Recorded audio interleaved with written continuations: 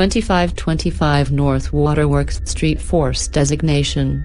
Task Force Designation, MTF Lambda 5, minus 5, Type, Combat, Containment Distribution, Specialized Response Moniker, White Rabbit's Specialization, Operation and in Containment of Unstable, Surreal, and Controlled Reality and Containment of Potentially Dangerous Persons or Artifacts capable of heavily manipulating external space.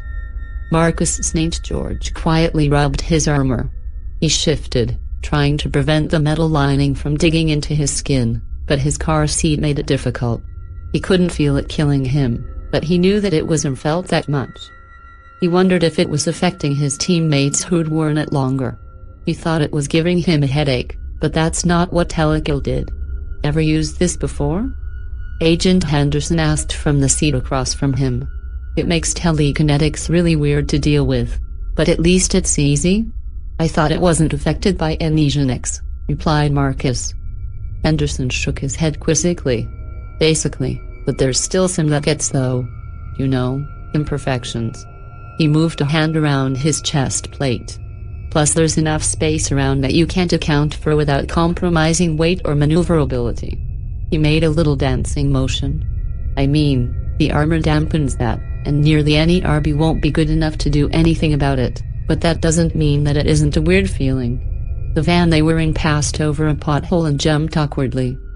Marcus had to readjust again. Um, no. I haven't ETA, Pat? Henderson called up to the front seat, focus shifted. Coming up now. Agent Carter called back. Fantastic. Henderson clapped. What? Agent Wilder pulled out an earbud. We're almost there. Agent King shouted from the passenger's seat. Agent St. George felt under-equipped for the mission. After a while the van came to stop outside of 2525 N. Waterworks, and the whole team turned to look at Agent Henderson. He took a moment to look down his subordinates and friends, and gave the call. Quick in and out? Prep projectors. Keep arms up and watch your sides. He unbuckled his seatbelt and took a crouched step towards the back doors. Hoorah! Hoo! Hoo! Came his team. Hoorah! he said, opening the doors to a wide grassland. Oh no! Before anyone knew what was happening, the floor of the van buckled away. Grass and bush had manifested into a few of their feet.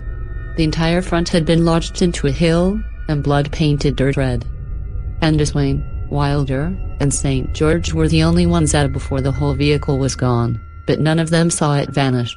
What the fuck was that? screamed Wilder, pulling a strand of woolly blue curls out of his ankle. Henderson steadied himself. I he teleported us. In a flash. His left side was trapped in a big leaf maple? He screamed, and Marcus found himself back in the back of the van. A man sat across from him, and stared intently. Marcus was startled and disturbed, but tried desperately to calm down. His pistol was on his side. This was happening too fast. You know, I've never seen your face before. Marcus St. George felt beads of sweat on his temple. The man was unarmed, but that didn't matter. He could do what he just did. How did he do it? How fast? He tried to stammer out a few words to the man, but couldn't find any. He was going to die. He made a move for his sidearm, but found it wasn't there.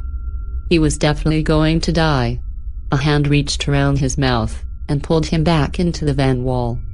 His head cracked against the hard steel, but didn't bounce. He was stuck. A second figure stepped from the front seat into view, an exact copy of the first. The first pressed a palm to his cheek and pulled it to face him.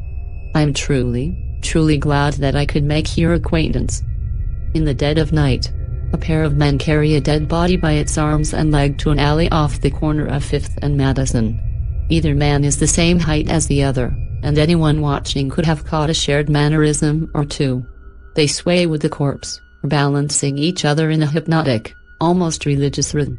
They have each taken time from their lives to take part in this, and they will enjoy it how they do.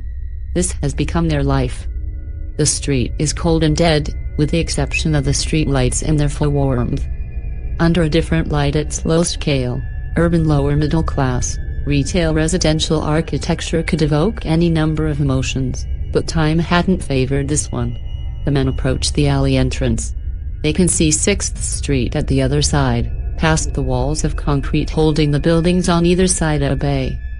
Both of the men understand the presence of this alley. They stop, holding the body parallel to the storing apartment fronts at their backs, and prepare to pitch it.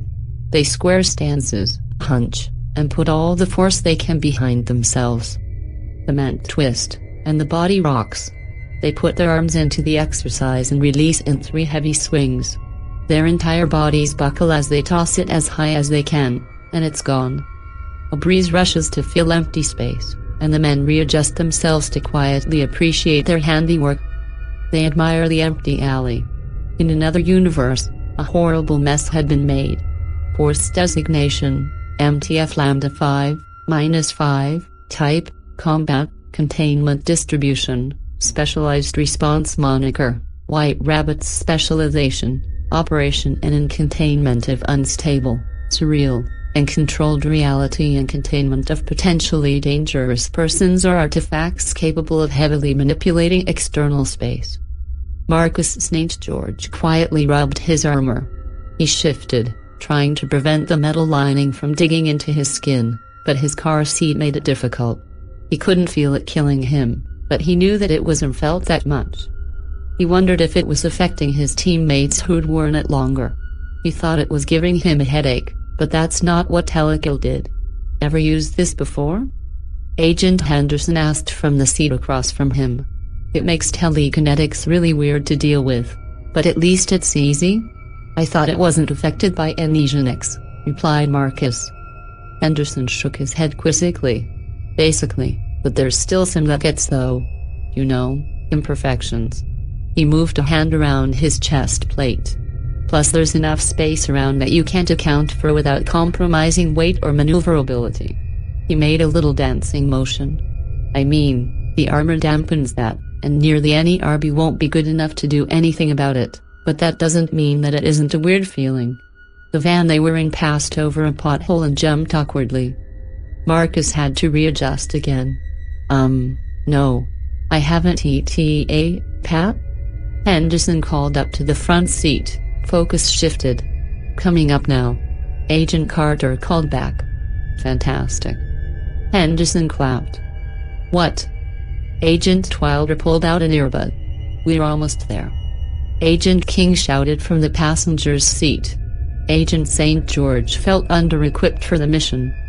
After a while the van came to stop outside of 2525 N. Waterworks, and the whole team turned to look at Agent Henderson. He took a moment to look down his subordinates and friends, and gave the call. Quick in and out? Prep projectors. Keep arms up, and watch your sides. He unbuckled his seatbelt and took a crouched step towards the back doors. Hoorah! Hoo! Hoo! Came his team. Hoorah! he said, opening the doors to a wide grassland. Oh no! Before anyone knew what was happening, the floor of the van buckled away. Grass and bush had manifested into a few of their feet. The entire front had been lodged into a hill, and blood painted dirt red. Anderswain, Wilder, and St. George were the only ones out before the whole vehicle was gone, but none of them saw it vanish. What the fuck was that? screamed Wilder, pulling a strand of woolly blue curls out of his ankle.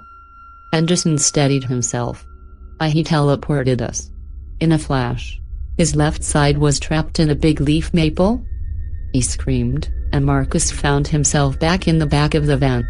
A man sat across from him, and stared intently. Marcus was startled and disturbed, but tried desperately to calm down. His pistol was on his side. This was happening too fast. You know, I've never seen your face before. Marcus St. George felt beads of sweat on his temple. The man was unarmed, but that didn't matter. He could do what he just did. How did he do it? How fast? He tried to stammer out a few words to the man, but couldn't find any. He was going to die. He made a move for his sidearm, but found it wasn't there. He was definitely going to die. A hand reached around his mouth, and pulled him back into the van wall. His head cracked against the hard steel, but didn't bounce. He was stuck. A second figure stepped from the front seat into view, an exact copy of the first. The first pressed a palm to his cheek and pulled it to face him. I'm truly, truly glad that I could make your acquaintance. In the dead of night, a pair of men carry a dead body by its arms and leg to an alley off the corner of 5th and Madison. Either man is the same height as the other, and anyone watching could have caught a shared mannerism or two. They sway with the corpse, balancing each other in a hypnotic, almost religious rhythm. They have each taken time from their lives to take part in this, and they will enjoy it how they do. This has become their life. The street is cold and dead, with the exception of the street lights and their full warmth. Under a different light at low scale, urban lower middle class, retail residential architecture could evoke any number of emotions, but time hadn't favored this one. The men approached the alley entrance. They can see 6th Street at the other side, past the walls of concrete holding the buildings on either side of a bay. Both of the men understand the presence of this alley. They stop, holding the body parallel to the store and apartment fronts at their backs, and prepare to pitch it. They square stances, hunch, and put all the force they can behind themselves. The men twist, and the body rocks. They put their arms into the exercise and release in three heavy swings. Their entire bodies buckle as they toss it as high as they can, and it's gone. A breeze rushes to fill empty space, and the men readjust themselves to quietly appreciate their handiwork. They admire the empty alley. In another universe, a horrible mess had been made, 2525 North.